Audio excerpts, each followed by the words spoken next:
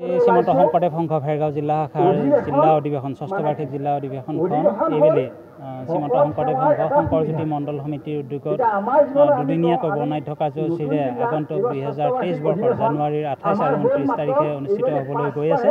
সেই উপলক্ষে আজিৰ অৰ্থাৎ ন অক্টোবৰ তাৰিখে এই অধিৱেশনস্থলীতে এখন জাগৰণ সভা আহ্বান কৰা হৈছে আৰু এই সভা সভাখনৰ জৰিয়তে যিসমূহ আমাৰ প্ৰাথমিক শাখাসমূহ আছে তেখেতসকলে অধিৱেশনখনৰ কাম কাজৰ ক্ষেত্ৰত কেনেদৰে আগবাঢ়ি যাব লাগিব সেই বিষয়ত ইয়াত বিশদভাৱে আলোচনা আগবঢ়োৱা হৈছে আৰু এই সভাখনতে আমাৰ পানেৰী বিধানসভাৰ সমষ্টিৰ শ্ৰদ্ধাৰ বিধায়ক তথা অসম বিধানসভাৰ অধ্যক্ষ মহোদয় আহি আমাক এই অধিৱেশনখন সাফল্যমণ্ডিত কৰি লৈ যোৱাৰ ক্ষেত্ৰত ভালেখিনি তেখেতে আমাক আশা এটা দিছে যে তেখেতে এই অধিৱেশনখন সৰ্বাংগ সুন্দৰ অধিৱেশন হিচাপে আগবঢ়াই নিয়াৰ ক্ষেত্ৰত অলপো কৃপণালী নকৰোঁ বুলি তেখেতে এই সভাত আমাক কথা দি থৈ গৈছে। তাৰ লগতে তেখেতৰ লগতে ওদালগুৰি জিলা সমিতি বিজেপিৰ সাধাৰণ সম্পাদক শ্ৰদ্ধা জ্যোৎস্ৰাং বড়োদেৱ তেখেতো এই সভাখনত উপস্থিত আছে।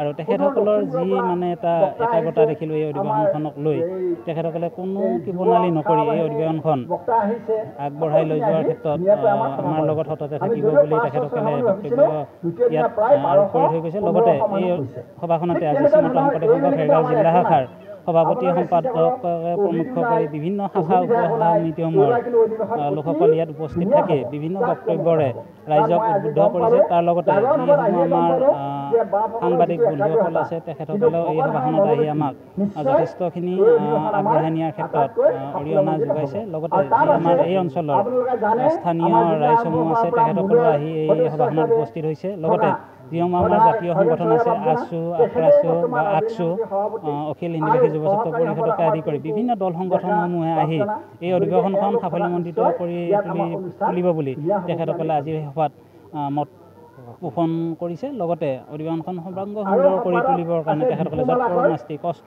স্বীকাৰ কৰিব বুলি আজিৰ এই সভাখনত তেওঁলোকৰ বক্তব্যৰ জৰিয়তে প্ৰকাশ কৰিছে।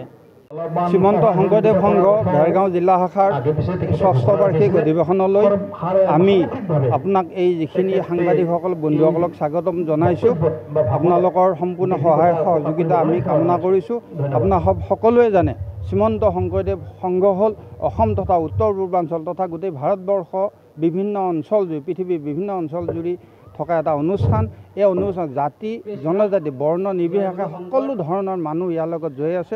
এখন মানৱৰ সমাজ গুৰুজনাৰ শ্ৰীমন্ত শংকৰ গুৰুজনাই যিখন মানৱ সমাজ গঢ়ি থৈ গৈছিল এই মানৱ সমাজৰ এটা অংশ এয়া ভেৰগাঁও জিলা আৰু এই ভেৰগাঁও জিলা শাখাৰ ষষ্ঠ বাৰ্ষিক অধিৱেশন এইবাৰ ৰাজাগড়ত অনুষ্ঠিত হ'ব আৰু অহা দুহেজাৰ তেইছ বৰ্ষত জানুৱাৰী মাহৰ আঠাইছ আৰু ঊনত্ৰিছ তাৰিখত ইয়াত অনুষ্ঠিত হ'ব আৰু সুন্দৰভাৱে এই অধিৱেশনখন চলাই নিবৰ কাৰণে আমি সুন্দৰ কাৰ্যসূচী চলাইছোঁ কাৰ্যসূচী লৈছোঁ আৰু এই কাৰ্যসূচী মৰ্মে আমি আগবাঢ়ি যাম। আজি ইতিমধ্যে এই জাগৰণ সভাত অসম বিধানসভাৰ মাননীয় অধ্যক্ষ মহাশয় তথা আমাৰ সমষ্টি বিধায়ক মহোদয় আহিছে আমাৰ মাজলৈ আৰু তেখেতে আমাক যথেষ্ট উপকাৰ যথেষ্ট উপ উপদেশ দিছে আৰু সেইমতে আমি আগবাঢ়ি যাম যাতে এই গোটেই উত্তৰ অঞ্চলত থকা যিখিনি জাতি জনজাতি আমি এক হৈ থাকিব পাৰোঁ। এটা সমন্বয়ৰ বাৰ্তা এটা মানৱ সমাজৰ যিটো মানে বাৰ্তা সেই বাৰ্তাটো যাতে আমি গোটেই বিশ্বক দিব পাৰোঁ তাৰ কাৰণে আমি সদায় যত্ন কৰি